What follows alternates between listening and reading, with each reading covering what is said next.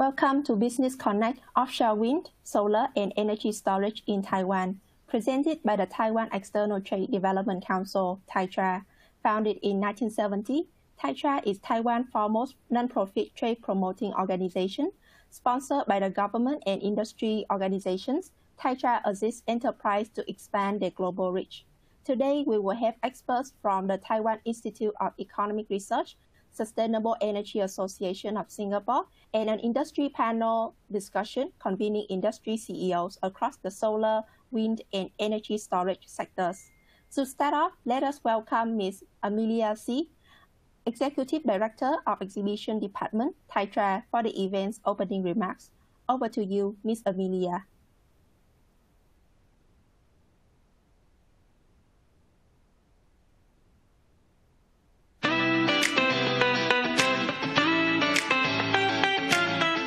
Everyone. On behalf of the organizer TAITRA, a leading trade promotion agency in Taiwan, supported by Ministry of Economic Affairs, I'm delighted to welcome all of you to watch the Taiwan Business and Trade Show webinar, focusing on renewable energy industry in Taiwan. The global industries and our lifestyles have been disrupted dramatically since the outbreak of COVID-19 in 2020. If we ask ourselves what impact the pandemic has brought to us, undoubtedly, we pay more attention to the issues of sustainability and ESG. To protect the earth in which we live, the human beings have been taking a lot of climate actions by reducing carbon emissions and initiating the concept of net zero to cut the greenhouse gas emissions to as close to zero as possible. To keep global warming to no more than 1.5 degrees Celsius, as called for in Paris Agreement, emissions need to be reduced by 45% by 2030 and reach net zero by 2050. A growing coalition of countries, cities, business, and other institutions are pledging to get to net zero emissions. To respond to the global climate actions, the efforts of Taiwan government to increase the sustainability of energy systems keep on going, with renewable energy targeted at 20% and coal use reduced from 45% in 2016 to 30% of its energy generation by 2025. Between 2021 and 2025, Taiwan will add 5.7 gigawatts of already allocated offshore wind power to the grid. An additional 10 gigawatts of offshore wind power will be added to the grid between 2026 and 2035. For solar energy, Taiwan will add 14.2 gigabytes by 2025 the current unfinished wind and solar projects value approximately 82.9 billion US dollars, among the highest investment in Asia region. In this webinar, we have invited industrial experts both from Taiwan and Singapore to share their insights on the latest trends of renewable energy sectors to connect you with business partners in Taiwan. Attending related trade shows must be the best platforms. So, in this webinar, my colleague Carol will also give you a snapshot on the following trade shows. Energy Taiwan, Wind Energy Asia, Taiwan International Water Week, and Sustainable Taiwan Expo. I hope you enjoy this webinar. Thank you again for watching.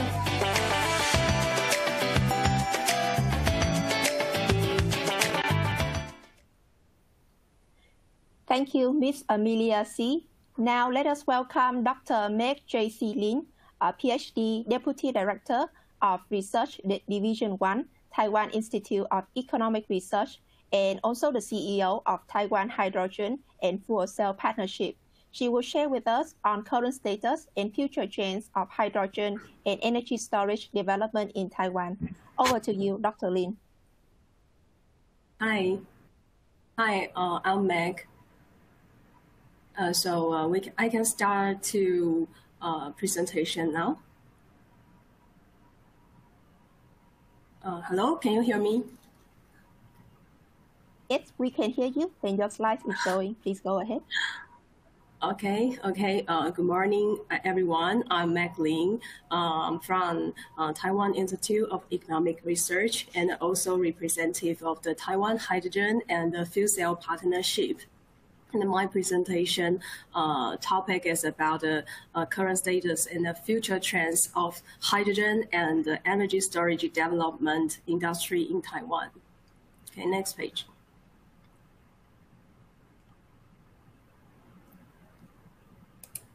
Okay, uh, this is my outline. Uh, I will pre uh, present about Taiwan uh, renewable energy and zero emission policy in the future, and also about the Taiwan energy storage and hydrogen industry development. Okay, next page. Okay, the first one is about global emission policy and uh, international indicators. Okay. Next page. Okay, so uh, because of the G20 and the COP26 last year, so uh, now the global emission policy and the international indicators, it is about uh, lots of the zero emission and the renewable energy. Um, so for, for so the Europe and the US and the, the South Korea and also the global lots of the country, we can see that they have a lot of the green energy in in um, industry development policy and the zero emission policy. And uh, so, uh, so the Taiwan is also have the uh, net zero emission by 2050. Okay, next page. Okay, so uh, we also sort out the global emission policy and the international indicators. So we see some uh, institute from the UNIDO, OECD, or the Green Growth Index, and also lots of the industry from Taiwan uh, are announced to join the renewable energy 100% or the energy productivity 100% uh, and also the electric vehicle 100%. Uh, so uh, in Taiwan and the global, and we a lot of the industry they are focused on the the trades and for their products. If they want to export their products to other country, they need to do the renewable energy 100%, or they will be charges lots of the uh, carbon emission fee. Okay, next page. And about Taiwan, what's our action about the zero emission uh, policy? And I will introduce the, uh, the next page. Okay, in Taiwan, um, we also, uh, our president, uh, Dr. Tsai, also announced the 2050 net zero emissions. is uh, just announced uh, in March this year. So uh, in Taiwan, uh, lots of the, the different part of the government and the, the, central government and the local government, they, also, they already prepare to do the technology development and to help the industry or the household person and to use the uh, lots of different technology or renewable energy uh, products in their household or factory to help them to, to reach the zero emission goal in the future. And also in Taiwan, in the past, we also have the Greenhouse Gas Reduction and the Management Act. So uh, the global target, the 2050 about the zero emission in Taiwan is also we do the lots of the policy and the in, in uh, subsidize to help the industry to reach the goal. And uh, also we we have another uh, policy is about the uh, 20, 2025, we will have the 20% about the green energy uh, generation. And uh, uh, also we have the green finance action plan for the industry too. Okay, next page.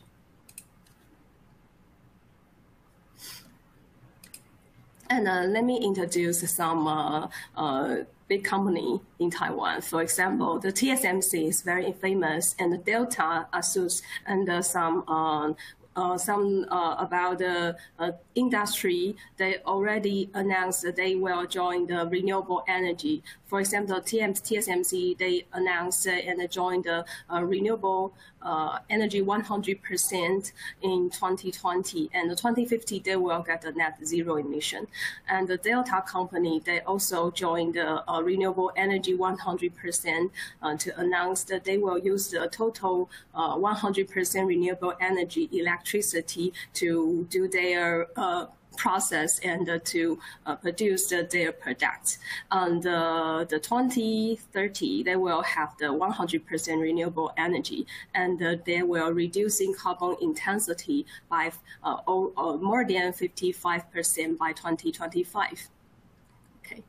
So uh, also some companies maybe they are not so big, but uh, they will get gathering together and help each other to invest or to try to use the renewable energy, for example, the hydrogen or the energy storage, and also the solar power and wind power to help themselves to reach the renewable energy 100%, and also they can get the uh, can reach the zero emission goal in the future. Okay, next page.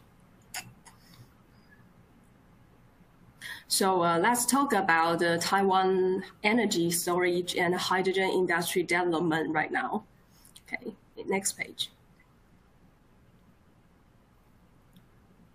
Okay, so uh, in fact, in Taiwan, the hydrogen and the fuel cell industry already developed more than uh, 20 years. And uh, also, I work in this field and research more than 10 years. So uh, I learned a lot from our Taiwan hydrogen and fuel cell industry people. And we have already more than 50 companies. They they invest or develop the hydrogen and the fuel cell technology many many years, and already they already co-work with the global companies uh, with the other country, and also these years, I think maybe it's uh, past the 10 years, the energy storage systems became more and more important for Taiwan uh, because uh, we already have uh, solar power and wind power, and we need to help our the grid to be more stable. So uh, we started to use the energy storage system. So uh, in the so this is a two association about the industry. The first one is the Taiwan Energy Storage System Industry Promotion Alliance, and another one is Taiwan Hydrogen and the Fuel Cell Partnership. And the, these two associations, they already have the more than, I think, more than uh, hundreds of the companies from Taiwan, and the, they help each other and uh, gives the suggestions to our government to about the policy and the uh, industry technology subsidy uh, suggestions. Okay, next page. Okay, so uh, you use the energy storage market. We have to, to stable the grid and help the uh, industry to regulation the electricities and to stable the renewable energy too. Okay, next page. And uh, this is the supply chain about the Taiwan energy and the storage uh, supply chain. So you can see the battery, the PCS, and the EMS, and the control system, the software and the hardware is very completely uh, from Taiwan. So you can see lots of the companies' names here. So uh, it's in Taiwan, we can almost do all the systems by our, ourselves to have the industry to use it and also we can export or develop the uh, energy storage technology we co-work with other country. Okay, next page. And also, this is a supply chain in Taiwan hydrogens and the fuel cell industry. You can see the raw materials and the, the uh, fuel cell stack and the system application in the stationary application, transportation, uh, transportation application, and also the uh, the uh, system uh, other components, key components, or the hydrogen generation or purifying the uh, industry. We have lots of company in Taiwan. So uh, also it's very completely the supply chain from Taiwan, and we already co-work with lots of the country. Um, so I think if maybe in the future we can co-work with the Singapore, but uh, uh, actually I, I, I know some company already co-work with Singapore now. Okay, next page. And this is the uh, fuel cell demonstration site in Taiwan. Okay, you can see this is a Taiwan island, and we also have the more than 20 site, 20, uh, 200 systems uh, installation in Taiwan. This is a fuel cell and hydrogen uh, use. Okay, next page.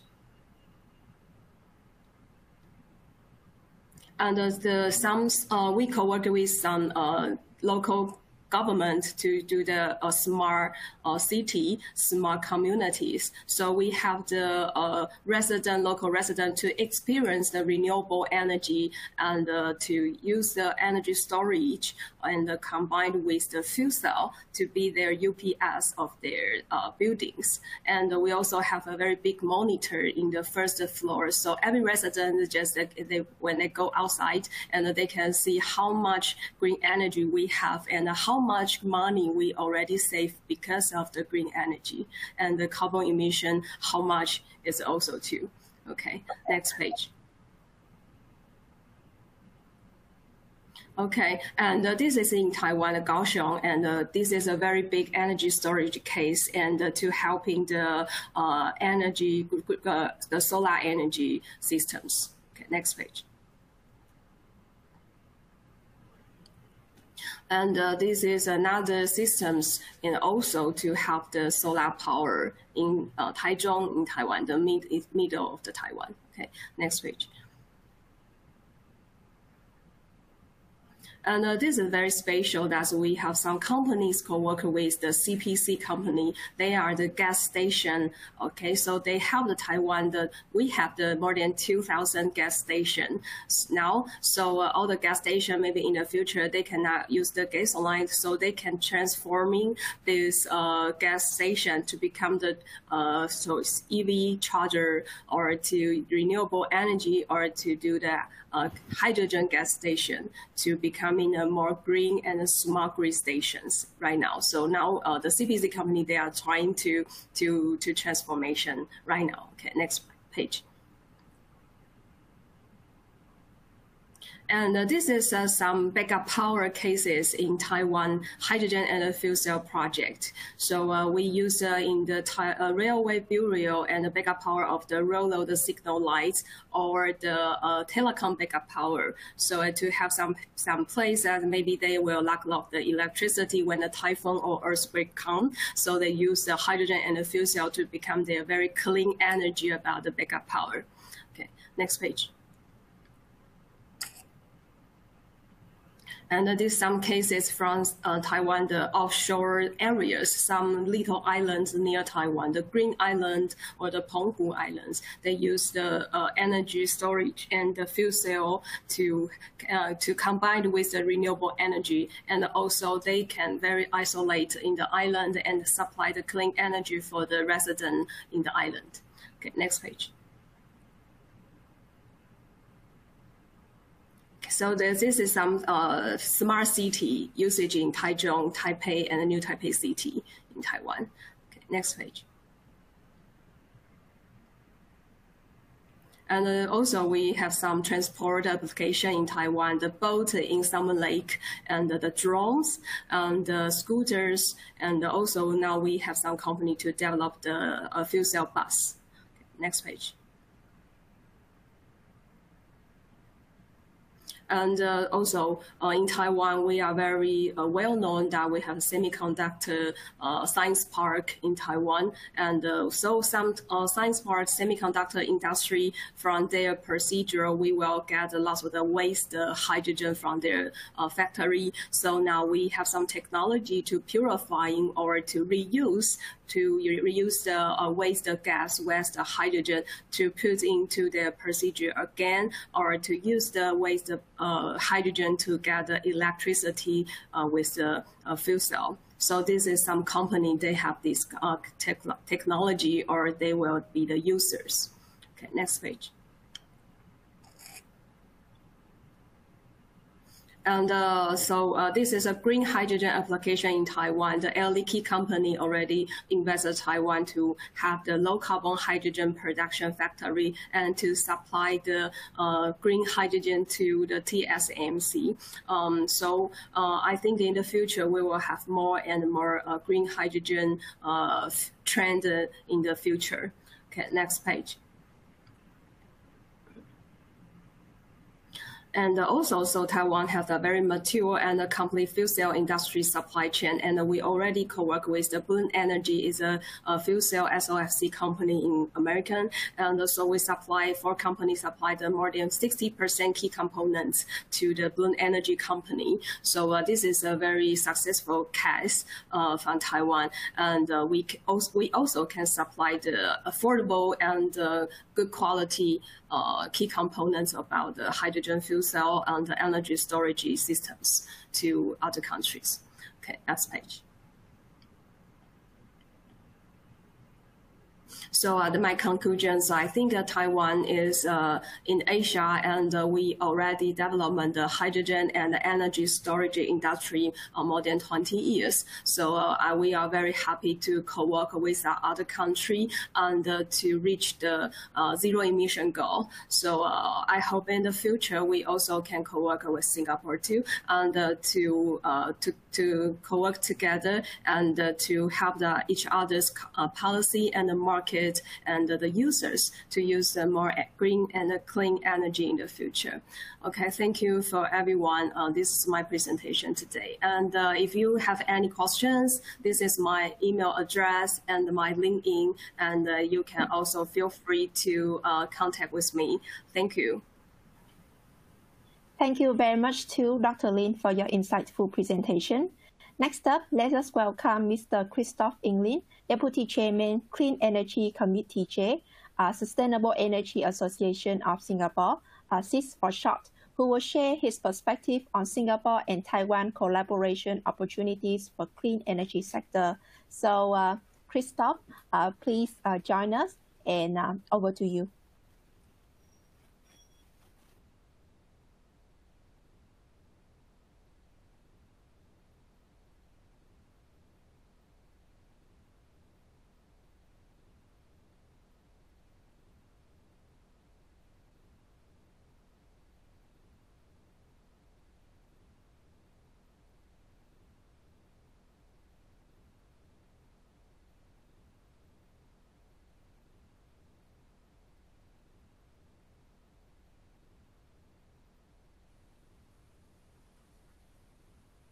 Hello, Christoph. Can you turn on your video?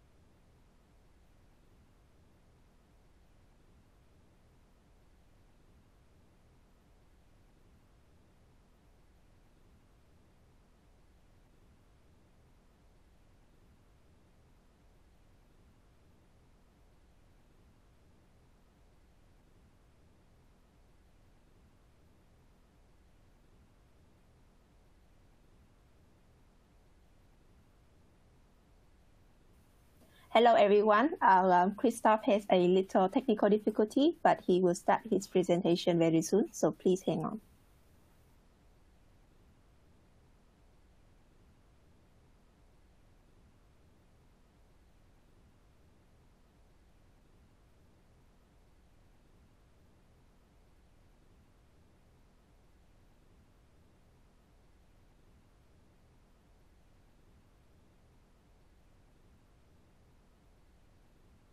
Okay, um, is it now all clear?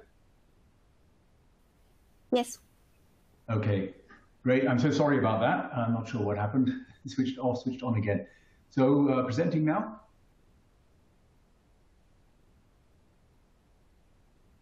Chelsea? Yes, please go ahead, Christoph. Okay, so good morning, everybody. Apologies for that glitch. So my name is Christoph Inglin. Uh, Chelsea's already introduced me. I'd like to go through um, four key points. First, an introduction to Singapore and the renewable energy capabilities that um, we've acquired under the constraints dictated by our geography. Then um, look at basically our focus on PV, a brief introduction to SEAS, the Sustainable Energy Association of Singapore, and then finish with what it is, I think, uh, the scope we have between Singapore and Taiwan for uh, collaboration. So we have a small city-state, limited alternative energy potential, only just over 700 square kilometers of land, no hydro, no geothermal energy resources, not much wind. The wind is very gradual here, only about two meters per second, so we don't have typhoons. And uh, we have sunshine, but we never have a clear blue sky all day. So it's variable and intermittent. Those are the constraints. On the other hand, uh, Singapore is also a regional center and clean tech hub for research and financing. Within a seven-hour flight radius, access to 2.8 billion people, so about 40% of the world's population. Very robust R&D and IP generation, and a living lab to tropicalize. So what we have in contrast with, let's say, Germany, Japan, United States, and Australia is the equatorial climate, which is quite different. Uh, next slide, please.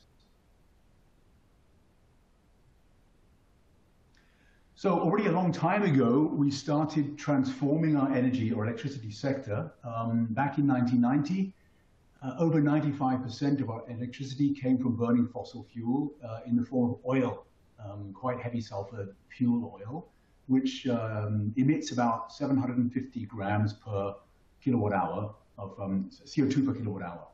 And now, as from 2014, over 95% comes from natural gas. So that has almost halved our emissions per kilowatt hour. Where to go from here? Uh, we don't have nuclear, uh, so basically it is renewable energy, which we need to tap. Next slide, please. And here you see our progress in uh, the only really available renewable energy to us currently, which is solar photovoltaics. Starting back in 2009, very small progress because a few grants only, but fundamentally the Singapore government has avoided distorting the electricity market with subsidies. So we had to wait basically for the cost to come down to the point where it could take off without much of the way of subsidies. That started in 2014 as the cost fell and we had some government programs to encourage installations on government buildings, the Solar Nova program. Um, it, it took off. Then we were suddenly faced with a uh, headwind, very low electricity tariffs caused by excess competition. Very hard to compete when PV was just about at grid parity and suddenly electricity prices dropped to the extent that wholesale generators were losing money. In 2018, costs had fallen even, even further and PV was a convincing um, substitute, uh, an economically viable alternative, growing very nicely. We had the two-year hiccup due to COVID, and we're now on a run rate of something like 200 megawatts per year. So well on our way to hitting the target of 1.5 gigawatts by 2025, and then 2 gigawatts peak by 2030. Some of you may be seeing, oh, okay, a lot of this is private sector, is one thing. So we've taken over from the public agencies. And what happens when we saturate? So I'll get to that towards the end because um, if we're going at 200 megawatts per year now, then we'll very soon hit that uh, that saturation point. Next slide, please. This illustrates the kind of thing we specialize in. Um, so looking at every rooftop is an opportunity, and the large ones, of course, are commercial and industrial. So metal rooftops, concrete rooftops, and um, uh, also car parks, um, you name it. As long as the roof faces the sun, which most of them do, it's a good opportunity for, for PV. Next slide, please. We don't have much in the way of residential, being a, uh, a tight city. Most of the population is in high-rise buildings, but the landed residential buildings that you see here, houses tend to have quite big systems. The average system size on a residential uh, building is about 25 kilowatts. The examples you see here are rather on the larger side. Uh, next slide, please. So here we have um, some of the things which are fairly unique. Uh, and um, on the top right, I'd like to highlight a solar farm. Well, you've seen solar farms all over the world. What's different about this one is two things. One, integrated rainwater harvesting. So as a small island without mountains and without glaciers to melt, we depend on either imported uh, fresh water from Malaysia, and more and more, uh, we're depending on our own rainwater plus on desalination. Desalination is energy intensive and expensive, so if we can harvest rainwater without wasting it, so much the better. So the top right is a dual use field. The second thing is something which plagued us for a long time. Large areas of land reserved for industry and the government not yet knowing whether those pieces of land would lie empty for 20 years in case perhaps a company would come along and need them to build an industry on. So we've developed a program where these PV sites can on short notice be moved in case the land is required for an industrial site and they can be moved to a new one. So they're no longer put in with the assumption that they'll last for 25 years in that location. So quick moving. At the bottom, we have expensive labor. Um, so we're looking at means of reducing the labor costs for cleaning, so with robots. Bottom left, you see one of the world's largest um, freshwater floating PV plant, 60 megawatts. And uh, there's more planned, several hundred megawatts are planned on our reservoirs with the added benefit, of course, of reducing the evaporative losses of this precious drinking water. And top left is something you don't see much yet around the world, which is marine floating uh, PV. Many challenges faced there, and we're learning about them from marine fouling and, of course, um, uh, the corrosion due to the saline water. This is in a quiet area between Singapore and Malaysia, so not yet wide open sea, but we intend to expand that and see how that can coexist with shipping lanes. Next slide, please. So, brief introduction to SEAS, the Sustainable Energy Association um, of Singapore. So, our mission is to be the voice of the sustainable and clean tech industry. We're a non-profit association promoting the energy efficiency and renewable energy to grow the industry. 200 over corporate members uh, spanning all kinds of technologies and sectors. Then we have lots of committees and working groups focusing on clean energy, energy efficiency, finance, sustainable infrastructure, carbon, marine renewables, sustainable energy startup network, energy storage, and now, of course, energy mobility, uh, electric mobility, so EVs and hydrogen. Contrary to many industry associations, we're financed not so much from membership or from the government, but largely by training. So this is where we focus on uh, training the industry using industry professionals. So it's less academic and more practice oriented. And I think it gives a very valuable enhancement to the kind of academic training you can get in the institutes of higher learning. It gives a great opportunity as well for uh, industry members to enhance their networking and their presentation um, abilities. Next slide, please.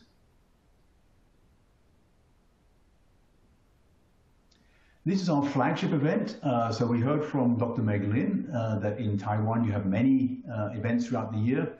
In the clean tech sector, we have this one major event uh, co-organized together with uh, the Energy Market uh, Authority of Singapore, so ACES.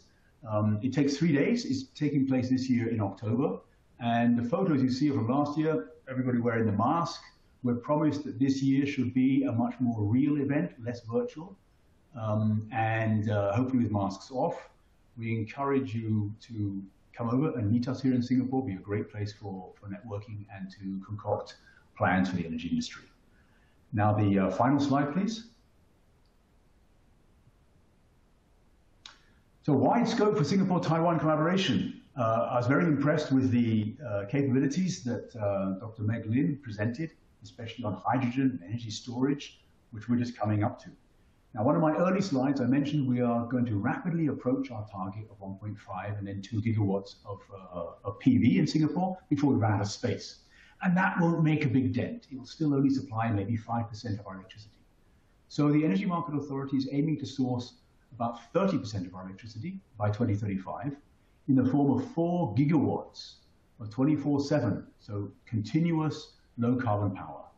If you achieve this with solar PV, you're going to need something like over 32 gigawatts of solar PV capacity. And this will go in primarily likely in Indonesia, plus significant battery storage. So that PV power can be, or the energy can be um, delivered on a 24-7 on-demand basis. So gigawatt scale solar farms, floating PV, and energy storage systems. I think that's something where we can share Taiwan's know-how. And the power imports via HV uh, DC subsea cables. So um, we're going well beyond just talking about silicon technology. This is whole systems engineering. We're going to require international partnerships, engineering expertise, financing. None of this happens without money. And remember, it's not happening with subsidies. This is going to happen are based on commercial viability alone.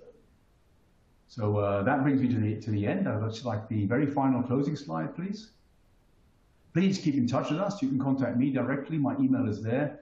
And if you scan the, uh, the, the, QR code, then you can contact SEAS and find out uh, who our members are and do a bit of research, maybe some companies you'd like to meet. Let me take this opportunity to thank uh, DMG and also TAITRA for inviting us to present uh, Singapore's capabilities. Thanks very much and have a great workshop. Bye-bye. Thank you very much, Christoph. Now let us welcome Mr. Hendrik Bohne, Energy and Infrastructure uh, of Asia Pacific, also the Head of Business Development and Asset Management of Aquila Capital, who along with industry CEOs today will delve into navigating the landscape and seizing the market opportunities in Taiwan's renewable sector. Uh, so, Hendrik, please join us, and over to you. Yes, thank you very much for the introduction, Chelsea. Um, as mentioned, my name is Hendrik Bohne. I work for a company called Aquila Capital. We've been around for the last 20 years, focusing on energy and infrastructure as well as other real asset development and investment. Um, we opened our office in Taiwan about two years ago, focusing there on on renewable energy investments, um, primarily in the solar PV space, but across the APAC region, looking also at wind opportunities, battery storage, be it standalone or, co-located. And I'm uh, joined today by a very esteemed panel of industry experts from Taiwan. Um, I will ask each of them now to introduce themselves. Um, maybe we can start with Marina from Copenhagen Infrastructure. Marina, please. Yes, Thank you very much, Hendrik and everybody. My name is Marina Hsu. I am the managing director of Copenhagen Infrastructure Service Company. We manage all the assets here in Taiwan owned by the funds that CIP, Copenhagen Infrastructure Partners, are managing on. And uh, currently, we have two offshore wind farms that are under construction. One is called Changfang Xidao Project, and the other one is called Zhong Neng Project. Altogether, they total 900 megawatt. That means they are able to provide clean energy to approximately 1 million households in Taiwan. And uh, it's a great pleasure to be able to, and a great honor as well, to be able to be in this panel together with all the excellent panelists and with yourself, Hendrik. So I very much look forward to our discussion. Thank you. Thank you, Marina. Uh, ben from URE, can I ask you please to do a brief introduction of yourself? Okay, uh, thank you very much, Hendrik. Uh, hello, everyone. My name is Ben Pan, and I am Vice President of Business Group here at URE, uh, which stands for United Renewable Energy.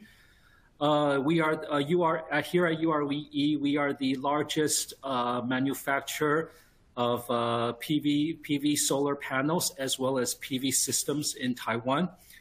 Uh, our annual business uh, is roughly 2.5 gigawatts globally, of which this year we will uh, install 850 megawatts of solar panels and PV systems in Taiwan.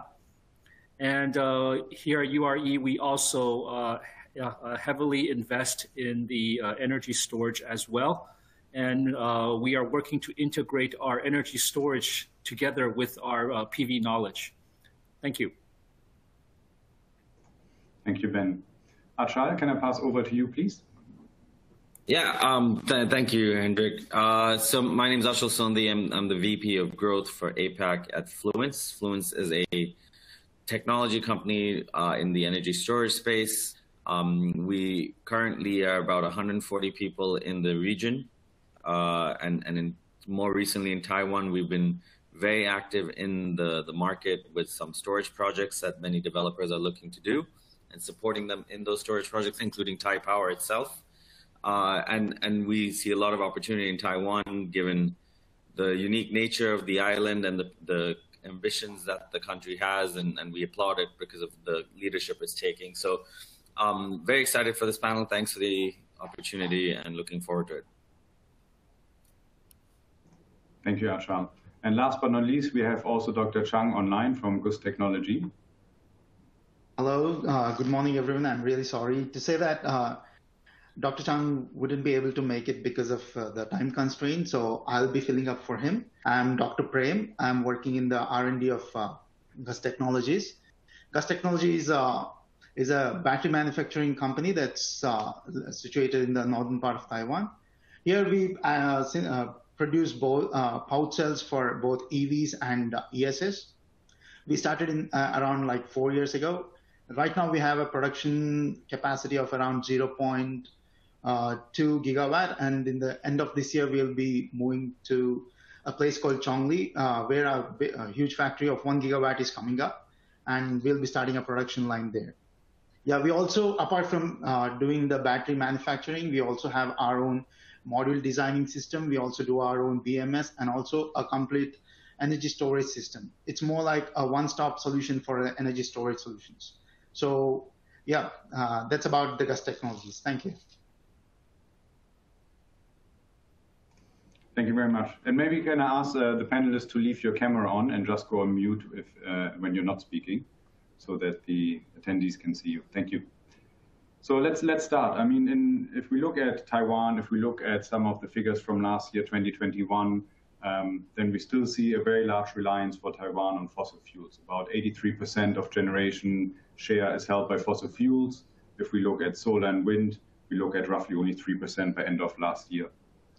And then if you take the reliance on these fuel imports um, and the current world uh, situation, then we see experts forecasting a substantial jump in wholesale pricing. Um, the, the, highest I've seen is 86% uh, jump, looking at wholesale pricing of over 200 US dollars per megawatt hour, so, so very substantial. But then if we look forward, what Taiwan is looking to achieve, um, the current peak load contribution by solar and wind is 17%. Um, the aim is to increase that by 2030, so in the next eight years to 74% peak load share or 25% of generation capacity.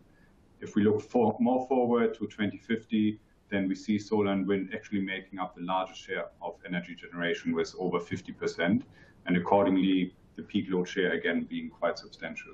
So it's, it's very impressive numbers. Um, and if I listen to, to the deployment of 850 megawatt of solar modules from URE alone, we heard about the 900 megawatt offshore wind under construction. That's 1.7 gigawatt right there, theoretically. Um, but my question would be, and maybe we can ask, uh, we can start with Marina again. Do you actually think these targets that Taiwan has set or that are being forecasted, forecasted are they achievable in the current environment? Well, I uh, I know these figures seems very uh, aggressive, and uh, I also know that this figure seems um, like what we have right now seems quite far away from these figures. Uh, yet it is really important that these goals are being uh, communicated communicated with confidence and communicated with hopes. Uh, it is true that in the net zero plan that the government just announced, there are still lots of rooms for clarification, lots of room for further deliberation, and uh, also more concrete step-by-step roadmaps should be developed. Yet um, I would still like to come back to the uh, the importance of communicating such goals. So so as an offshore wind farm developer ourselves, and also for CIP, we're also developing uh, solar projects worldwide, particularly in the states, and also uh, very enthusiastic in all new technologies, for example, power to X and etc. etc. So so so we naturally uh, are highly confident and highly optimistic that together with Taiwan, we could together achieve that goal. Thank you very much. Ben, uh, do you have a view on, on these numbers, these targets that we hear and their, their, the likelihood of achieving them? Uh, I agree primarily with uh, what uh, Ms. Marina said. Um, I think that uh, Taiwan's goals are very aggressive. Uh, with, uh, with, the target, for example, of, of installing 20 gigawatts of solar by 2025, uh, that's pretty much in three years. And uh, I think the biggest obstacle facing uh, Taiwan in achieving its goal is primarily, I think, two major factors. The first factor being uh, sub subject of available land. Uh, the government needs to, uh, the most common question that, that we ask uh, in the PV industry here in Taiwan is there is a uh, very aggressive goal set in place, but where are the potential sites? Do the, does the, uh, the land as well as the offshore solar, does it match up with the government's plan? The second issue uh, that uh, we, we as manufacturers face is government support. And what I mean by that is uh, Taiwan is famous for being very, very open and democratic. Uh, what does that have to do with uh, uh, a solar? for example, a solar company can get the privilege or the permit to build a, a PV system in a specific location However, in Taiwan, if one group, be it environmental, local, or any sort of regulatory uh, group, uh, rejects or uh, has a, a, a, different view, that project can easily stall eight months to a year. So, uh, to put what I'm saying uh, in a more simplified uh, summary, meaning like, suppose, you know, out of out of 10 groups, for example, that that a manufacturer needs to uh, apply a permit for, as long as one group, it doesn't matter how big that group is, if one group of vetoes, then the project cannot move forward. Thus, a lot of projects in Taiwan are uh, actually facing mass delays. So I think uh, the solution for this is there needs to be a clear communication uh, a set of clear game rules between the government, local parties, and manufacturers, and a way to be able to, to institute uh, said rules. I think uh, if, if the uh, Taiwanese government and the local manufacturers can reach this agreement, then I definitely think the the uh, the role that uh, sorry the target that the Taiwanese government has set is achievable. Thank you. And can I just uh, follow up on, on the point you just made? So from your perspective, is there an active dialogue, an open dialogue uh, enabled between the government and the, the industry? Yes. Is there yes. an opportunity, I guess, for developers to be heard? Yes. Yes, uh, we do have uh, organi organizations as well as uh, a near monthly communication with uh, with the all all levels uh, of the Taiwan government, uh, ranging from local all the way up to, to, to, to, Taipei as well. So the communication is there. but if we are to achieve the 20 gigawatt by 2025 and the 40 gigawatt by 2035, I personally think that uh, we need to speed it up because 2025 is three years away. We are running out of time. Thank you. Thank you. Marina, allow me one follow-up question because Ben raised the topic of available land um, and, and, obstacles in, in deploying solar. Um, how is it on the offshore wind side? I think a lot of our panelists might be interested to hear that. Is it is it fairly straightforward, yes. maybe even easier than an onshore um, wind mm -hmm. or solar mm-hmm. deployment, mm -hmm. or do you see similar obstacles issues in the offshore sector? I um, I think uh, what Ben raised is, is really, really uh, critical in the solar solar development in Taiwan. And in offshore wind, for example, um, the government has been promoting offshore wind for uh, very, uh, very eagerly for the past uh, 14 years or so. So first of all, there's the demo project, and then there is uh, the so-called first round demo project and second round uh, uh, potential sites where the government has mapped out 30 some different sites for the developers to choose and to develop. And now we are entering into the third round. Uh, we call it the zonal development round. And in the zonal development round, the, the developers basically are picking the sites that were left out from the previous round and also choosing sites and creating sites that they uh, deemed good with uh, development potential. So, so far there is still uh, actually quite a lot of uh, projects that are being reviewed by the government for this third round.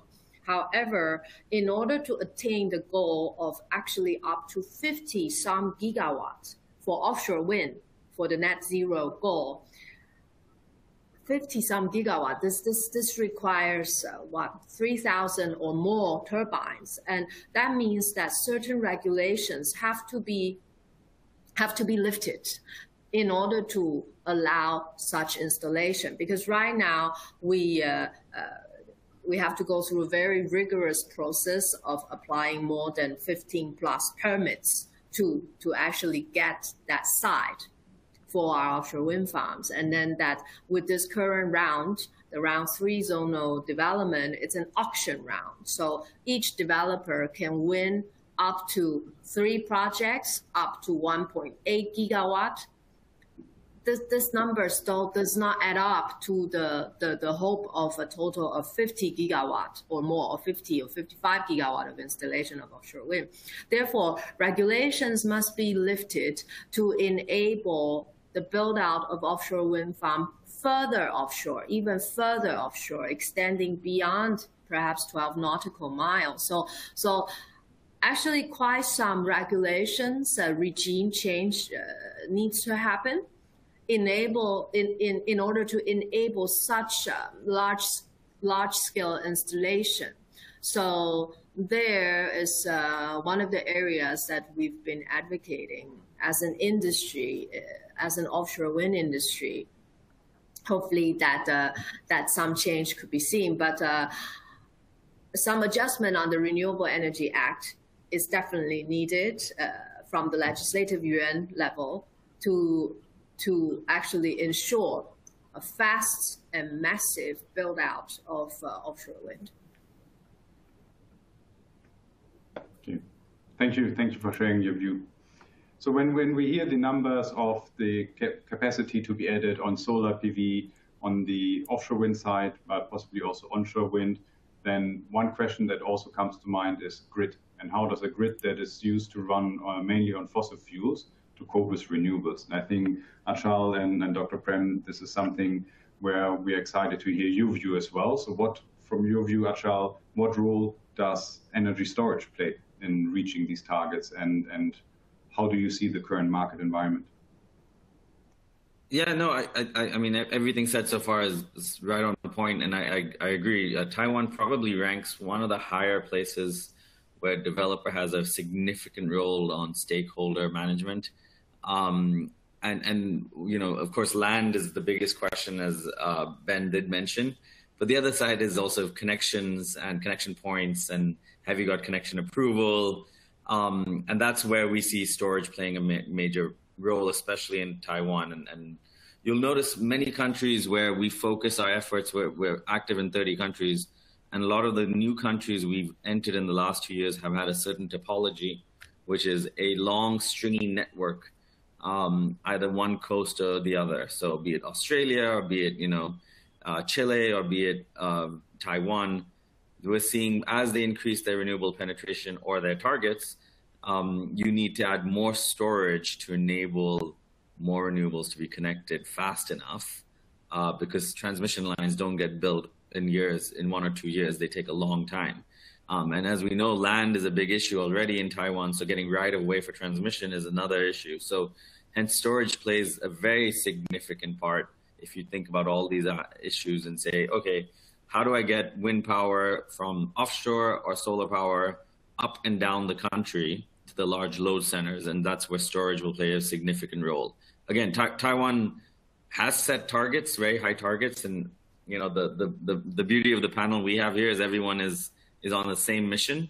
So I think we're going to be incentivized to say we're going to make it. Um, but uh, obviously there are challenges.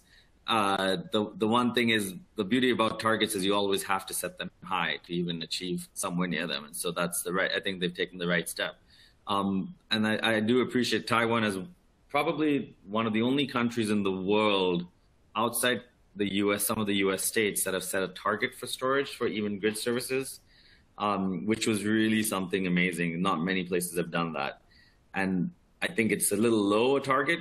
Again, we should set a higher target always. But now, now the next side we're going to see is how much of transmission support can you actually get with storage versus just frequency regulation.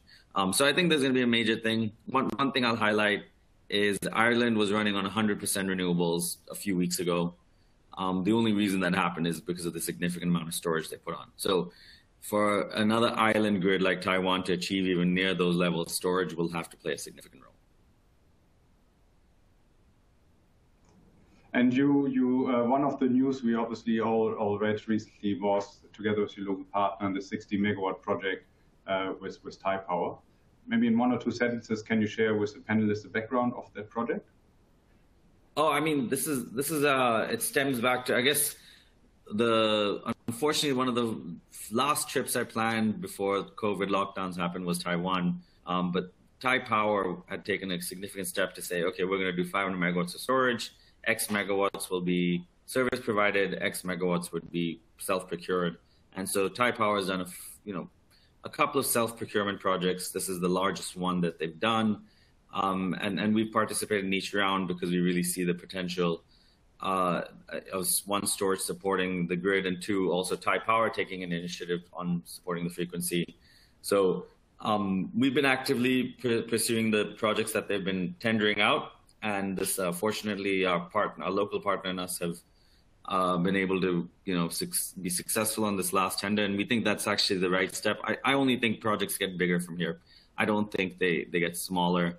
Um, so we're excited that you know we get to kind of show our uh, ability to execute first on some something so large. But um, in in just to give a, an idea, we're commissioning you know 800 megawatt hour projects around the world um, and, and, and many other places, but they didn't get there overnight. They, they did have to make first smaller projects. So this, we think this is the right step by Taipower. Yeah. Okay. Thank you very much. Dr. Prem, um, for, for GUS Technology as, as a local manufacturer, um, we talked about your background in storage, also looking a bit of, of, solar. How do you do you echo what you hear from from the other panelists on the targets in regards to renewables and the support that energy storage will have to play? Certainly, certainly. Everyone uh, came right to the point and they mentioned everything that has to be mentioned.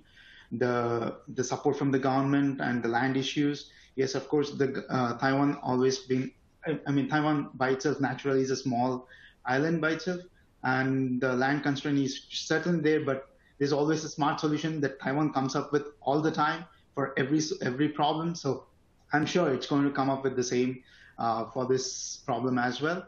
And uh, when it comes to about uh, talking about the reaching the target of 65 gigawatt power, earlier, like around three years ago, when we were just initiating the initiating our factory for one gigawatt, we were thinking, wow, one gigawatt is too huge for a country like Taiwan. What are we going to do? Whom are we going to supply? But then down the line, this year we started to think one gigawatt is too small. We have we need the requirements is going to climb up uh, day by day and uh, hour by hour. And now we see 65 is easily reachable in the coming in the coming years. But of course, like uh, how uh, Ms. Mar- Marina mentioned or Ben pointed out, the, the issues that are we need the support from the government and the and and how and how everything has to be communicated well from the top to the uh, bottom level made by the organizers or even the local for that matter. And one other point I would like to raise is uh, if if there's a uh, if there's more awareness by uh, awareness that's reached to the public by the government, like for example, uh, let's take Gogoro as a as a case study here. As of now, or maybe a year ago, people accept Gogoro as a as something that's more of a luxury or more of a comfort ride.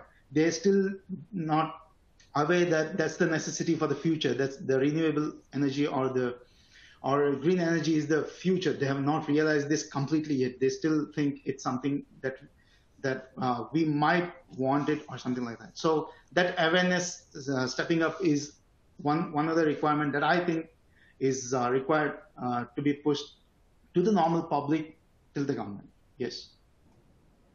Okay, so awareness creation, obviously, local engagement being being very important.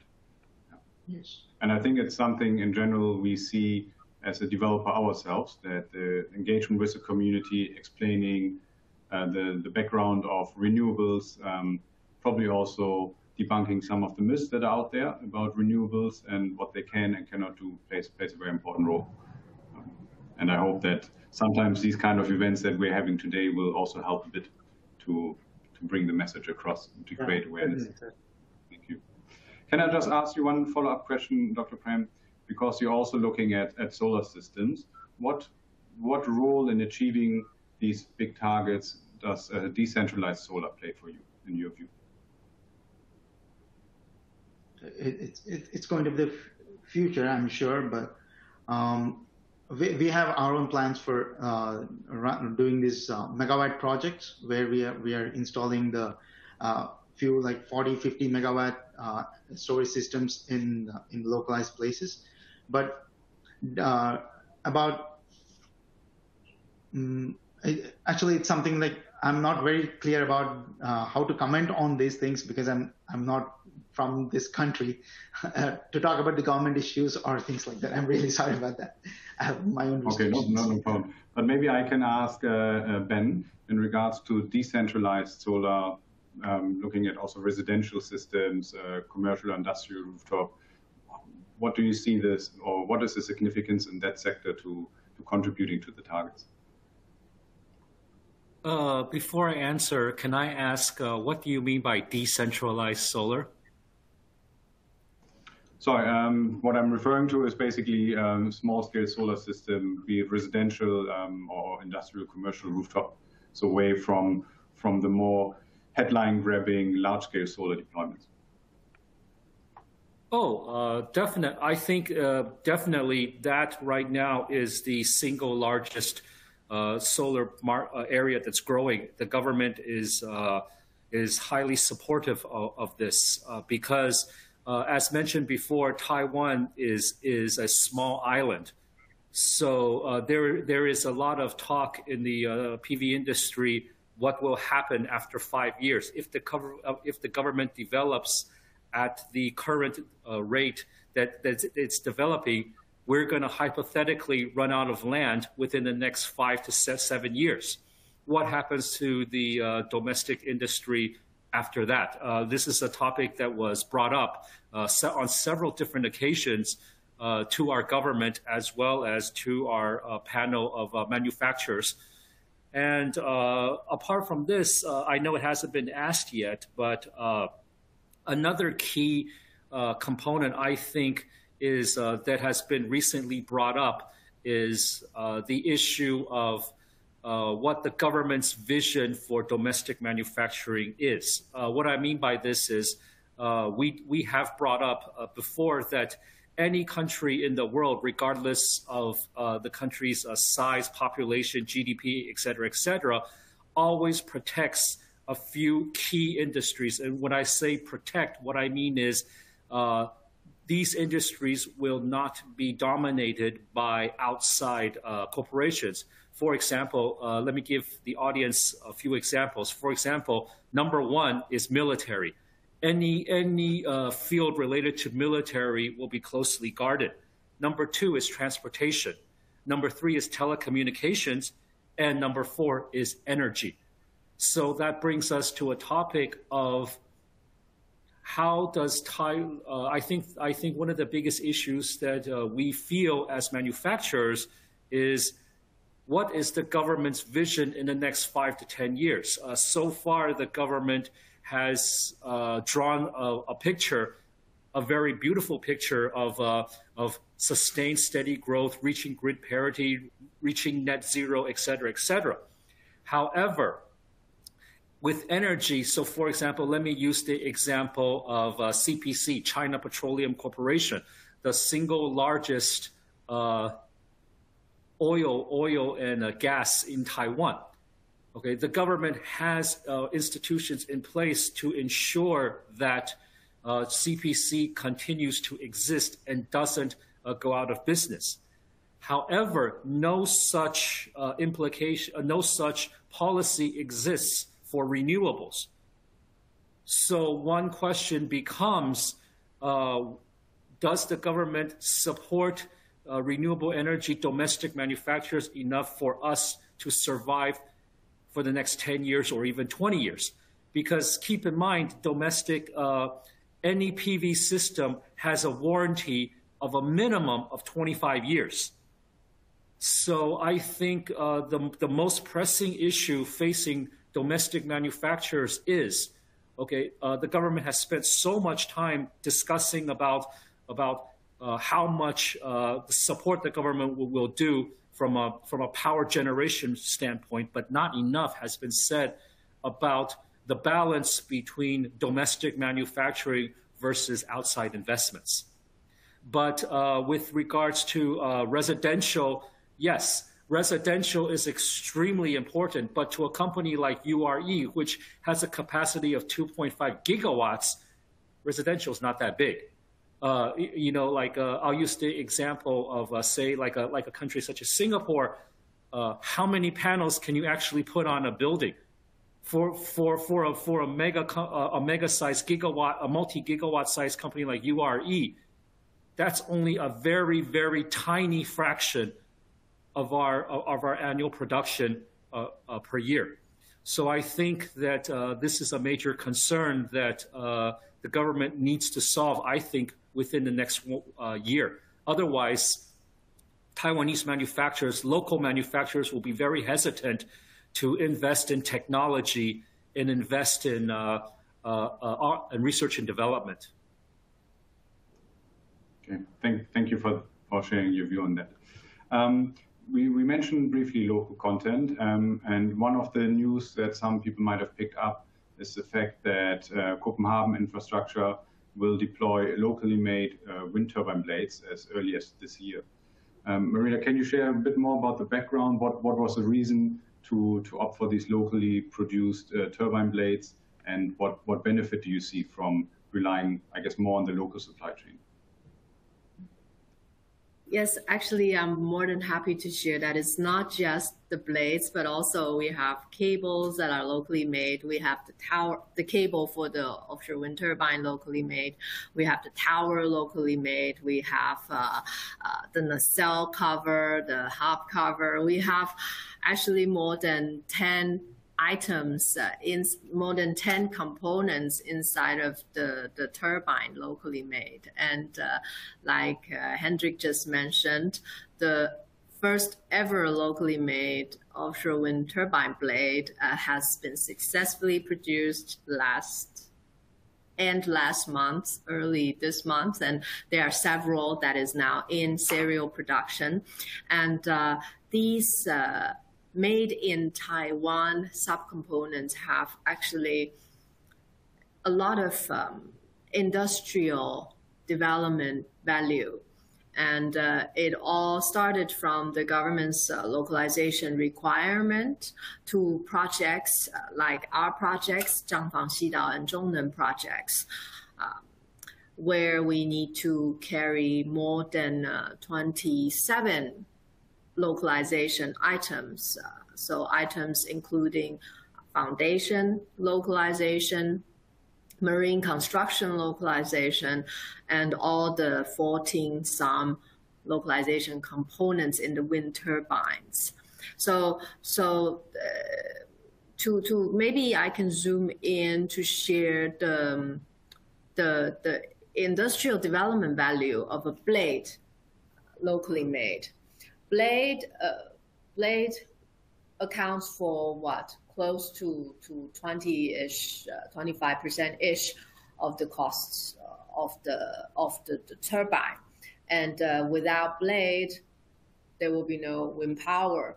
So blade is undoubtedly one of the highest uh, value added item and one of the most difficult to make item in the uh, in the turbine. Together with our supplier Vestas, we are able to localize the blade in Taiwan. And the blade, to, to, to zoom further in, the blade that we are producing with uh, with Vestas in Taiwan in the factory in Tianli factory. The blade for our turbine uh, is approximately 85 meters long, and that is 26 floors high. You know, our office right now sits on the 26th floor. So basically, if we lift the the, the, the, blade vertically and have it stand vertically, the tip of the blade actually now will hit this floor, the 26th floor. Uh, uh, of the building. And uh, this massive achievement is done from scratch, basically from zero. There was no factory built about one and a half years ago, and uh, now the factory is there, is in serial production, and it takes approximately three to four hundred colleagues, staffs in the factory to manually produce the blade. So it's a manual labor, it's a craftsmanship work that we're talking about to put into the blade. You have to lay, uh, you have to lay the material layer by layer by hand, and it's it's it's an impressive setup. And uh, with all that uh, being said, you know the factories right now, the blade production factories right now, uh, is employing more than three is employing more than 300 colleagues. And these 300 colleagues, you know, if, they are rather young, they are energetic, they have a vision, they want to dedicate themselves for the, the green transition of Taiwan, and uh, they are basically throwing themselves in producing this brand new technology with their craftsmanship manners and with proper training that they got from Denmark. And uh, so, so that uh, from a from an individual uh, perspective, individual uh, staff colleagues perspective. This is a highly motivating and highly skilled uh, job task that they are able to embark on.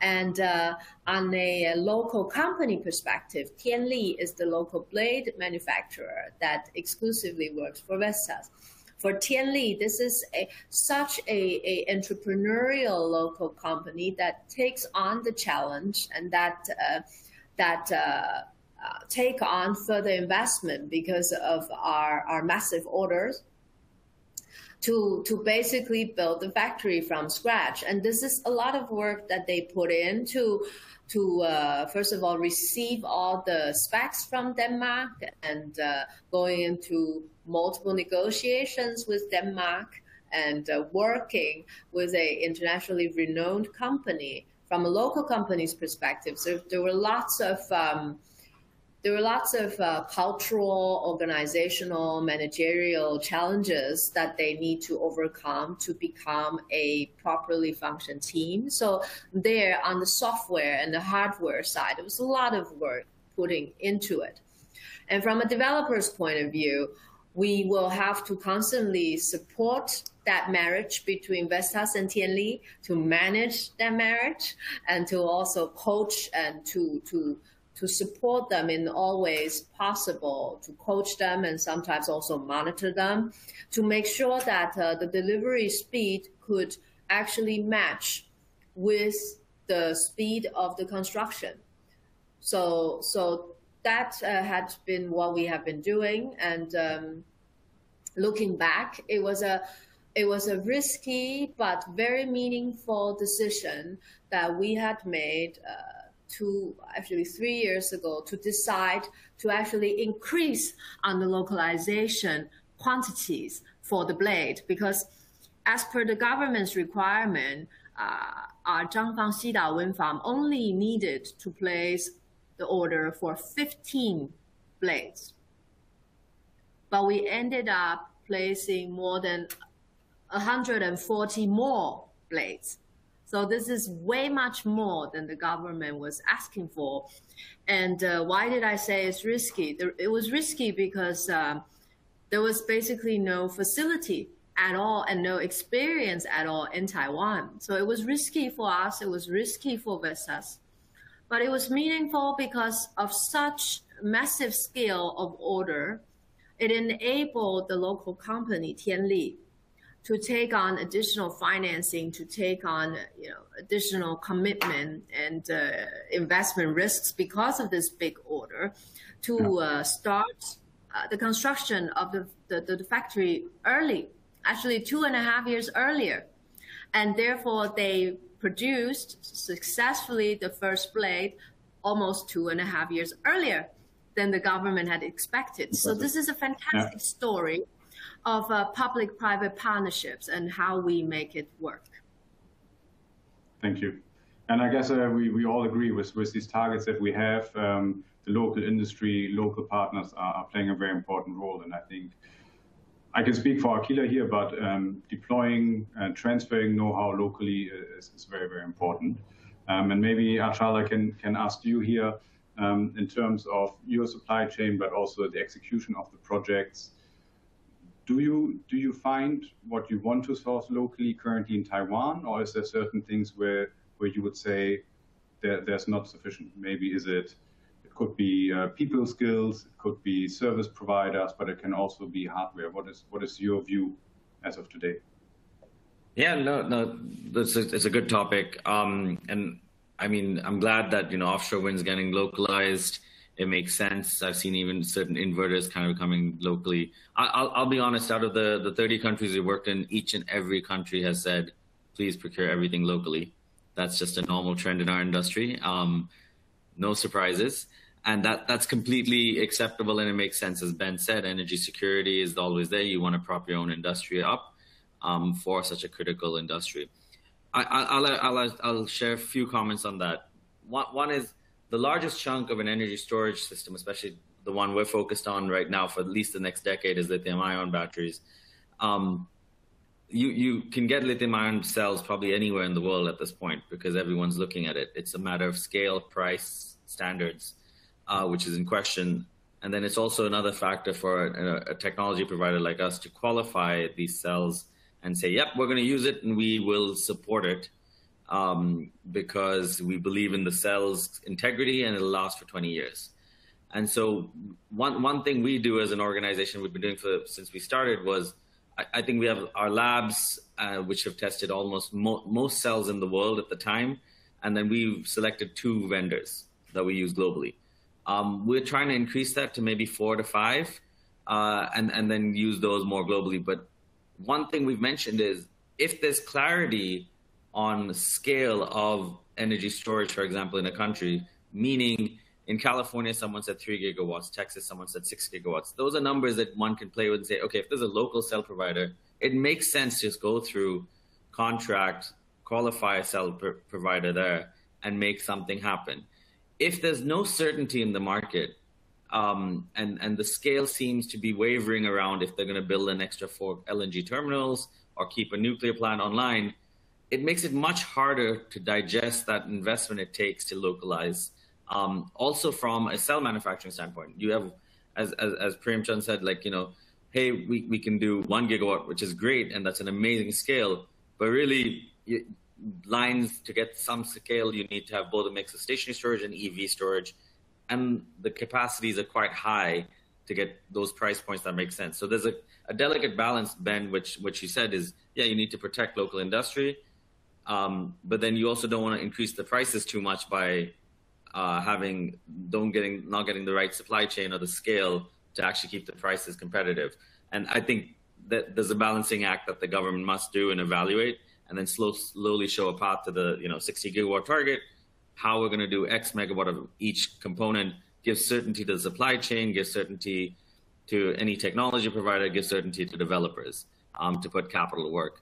Uh, the final comment I'll say on this this is basically if if if any certainty is given, it's easier to start mobilizing all the aspects that bring a project together, which is financing. I can see, you know, of course, Aquila's there and developers, um, if it's supply chain, if it's uh, even the services. And you, you touched on a great point, Hendrik, when you said services.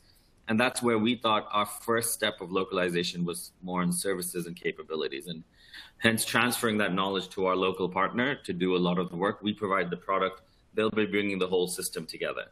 Um, and we think that's one of the low hanging fruits that where we would contribute to a local kind of share of localization. And as more and more components become available, hitting the right price points and the qualifications, I think we fully believe in that, that aspect of localizing. Okay, great. Thank you. Dr. Prem, maybe a last, last question also to you. Um, as a local manufacturer, you're starting your full production hopefully later this year. What, what role do foreign partners, foreign suppliers play, play for you? What, what do they bring to the table that you say might not yet be available, um, at least to a sufficient level in Taiwan?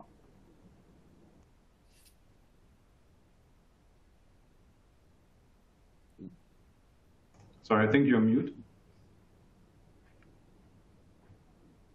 Sorry, uh, to begin with, I would like to point out that our our uh, more than 80% of our raw materials and things they are uh, locally supplied. They're all from the local suppliers, and just the, uh, around 15 to 20% they are from outside, where those uh, they're not in the industrial scale yet in Taiwan, so we had to source them from outside. Apart from that, we are the pouch cell manufacturers, and it's kind of new thing to the world. It's not not a very old technology. It's been just a 10 or 20 years uh, old right now. So we do need some technical uh, support from outside, and that's what we we are able to get uh, from outside. Apart from that, everything we are we are trying to do is uh, more of localization.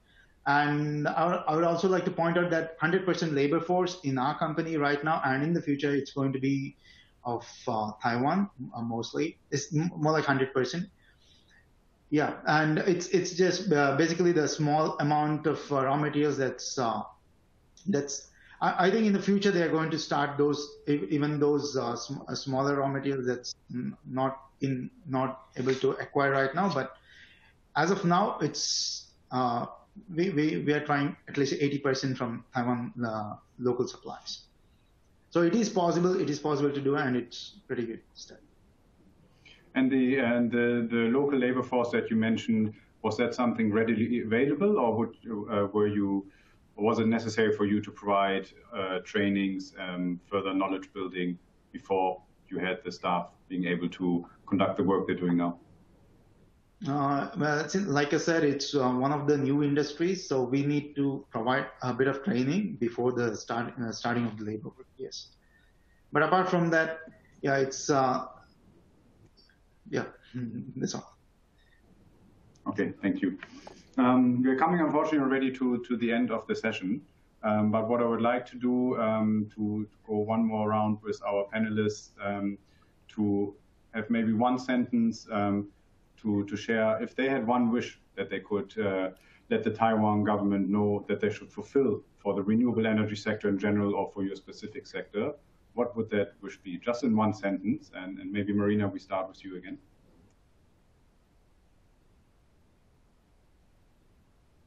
We would wish for a more robust, resilient, and intelligent uh, grid architecture for Taiwan's sustainable future development. Okay, great. Thank you. Ben? Uh, for my side, uh, my one wish would be uh, clear communication and execution of policy uh, between the the uh, manufacturers, local parties, as well as the national government. That would be my wish. Okay, so we have grid infrastructure, clear communication. Um? Yeah, I'm going to be a bit more selfish on the energy storage side. So my, my wish is there's a, a, a great target set. I would say if it was a plan around what was going to make up that target and what the roadmap would be, meaning X amount of transmission, X amount of storage to support the grid, as Marina said, X amount of solar, X amount of wind, it does give a lot more certainty um, because now the RE saying an RE target can become vague, um, but to really enforce the supply chain and local availability of you know participants, breaking that down would be helpful. Okay, so more clear, so clear roadmap. And, and, and, yeah, clear roadmap. Clear roadmap, Hendrik. Yeah. Dr. Prem? Uh, looks like one, everyone is covered. Um, I would like to say, again, it's the awareness to the public, and also if see with the with a super increase in the uh, price of raw materials, everything has been uh, the price of all the, especially the energy storage systems has been increasing. The price is more than 200% in the last two, three years. So it would be better if government can provide more subsidies to the customers from the customer's point of view. Okay. It, it makes our things easier and their things easier as well. So support the deployment through through customer subsidy. Very good. Yes. Okay. Then thank you to all four of you for taking your time today to share some of your insights, some of your views with uh, the other panelists, but of course, mainly with our attendees. Um, thank you also for, for the organizers to give us this opportunity to share some of our views. Um, and I hope everyone enjoyed the session. And Chelsea, I hand it over to you now. Thank you very much, Hendrik, and also our esteemed panelists for an insightful discussion. Um, and next, let us welcome Ms. Carol Chang, show manager from TAITRA, who will share with us on Taiwan trade shows, renewable energy trade shows in Taiwan. So, Carol, over to you.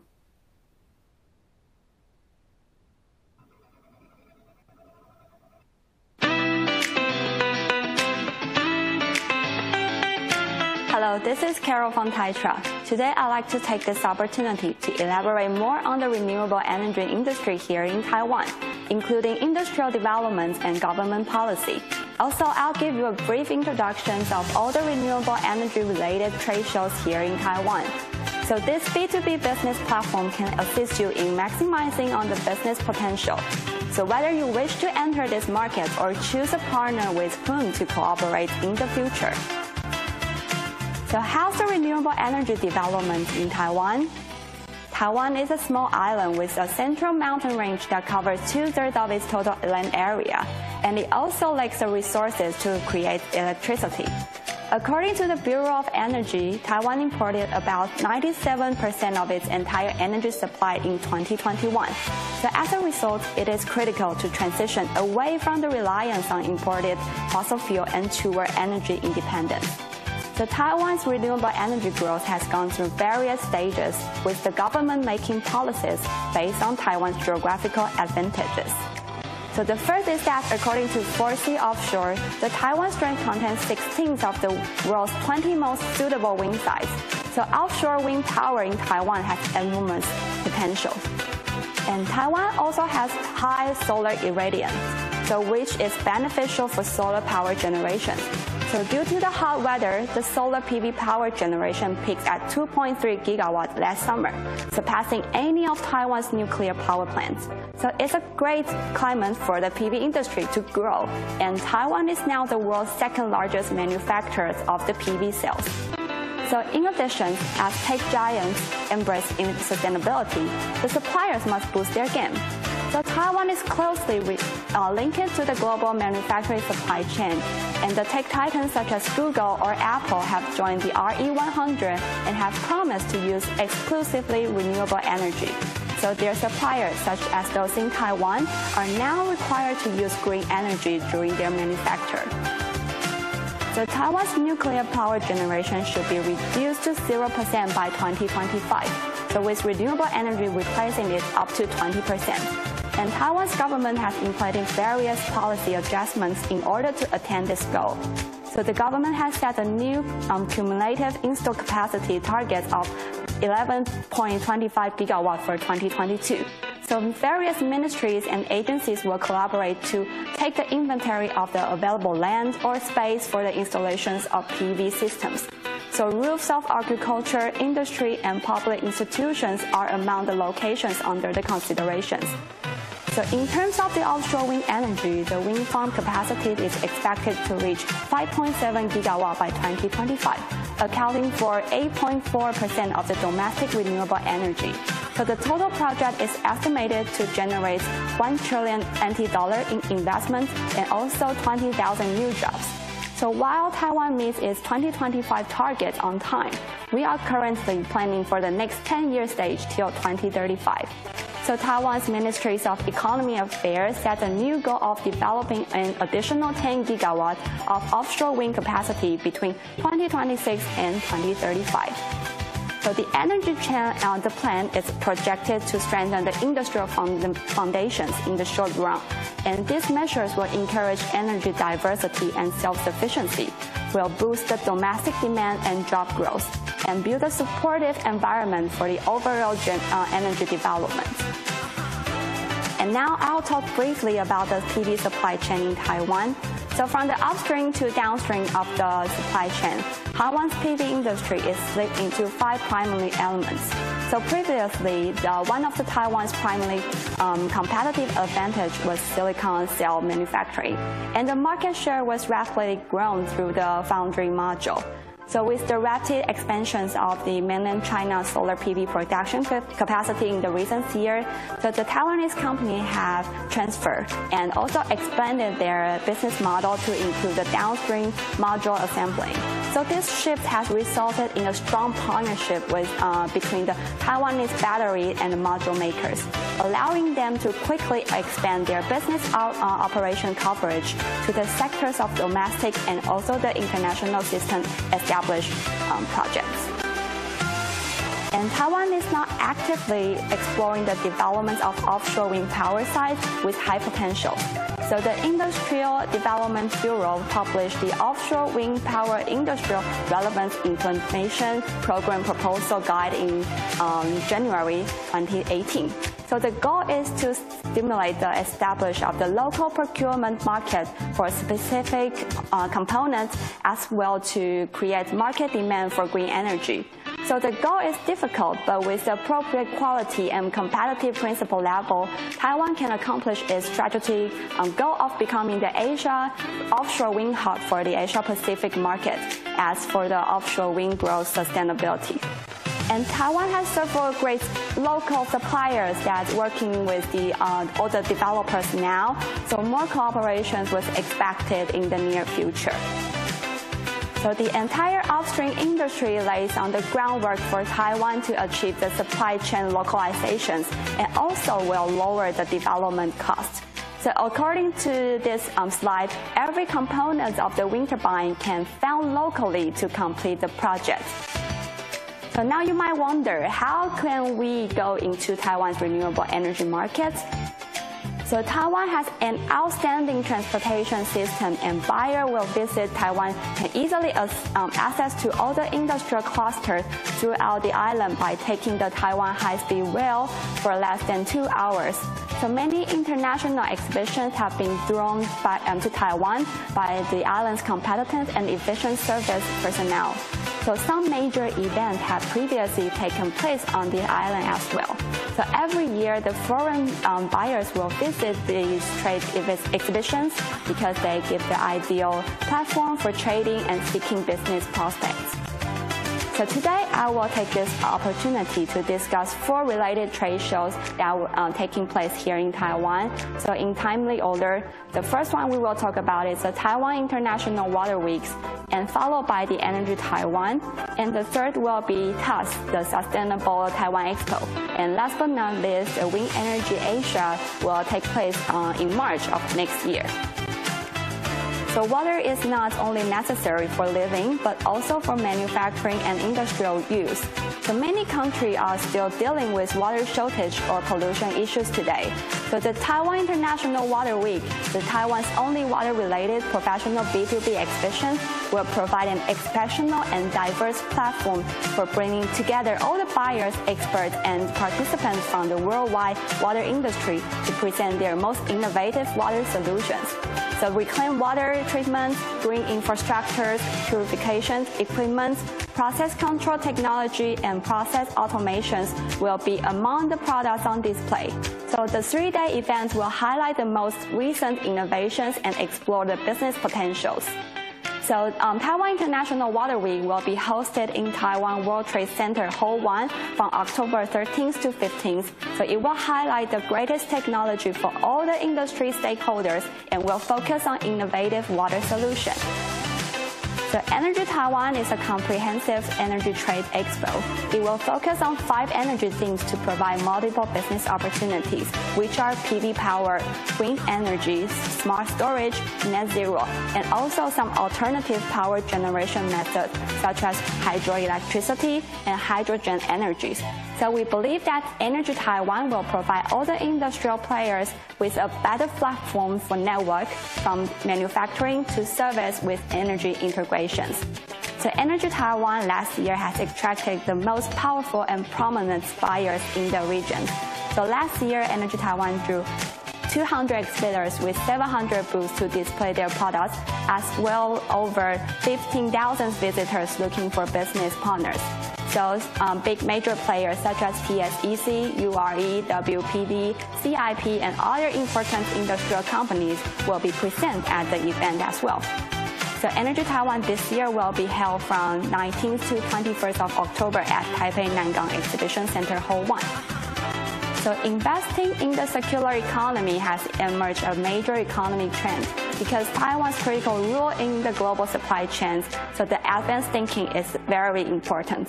So aside from the industrial innovation, the circular, uh, the circular economy and sustainable energy, the Taiwanese government has launched the Green Financial Plan 2.0 to assist and lead the local sustainability development. So thus, the Sustainable Taiwan Expo will concentrate on the circular economy and sustainable supply chain. It will help the partnership of the industry, government, and also the academia. So TASS will be hosted at the Kaohsiung Exhibition Center from November 3rd to 5th. So offshore wind energy is increasingly a major issue here in Taiwan, and Wind Energy Asia is Taiwan's premier wind energy exhibition. So it has created the most efficient communication platform for the industry by focusing on Taiwan's wind energy supply chain. So it is an action-packed three days in the hub of a significant industry cluster here in Kaohsiung. So with a wide mix of activities during the show, the Wind Energy Asia will be hosted at Kaohsiung Exhibition Center from March 8th to 10th next year, 2020.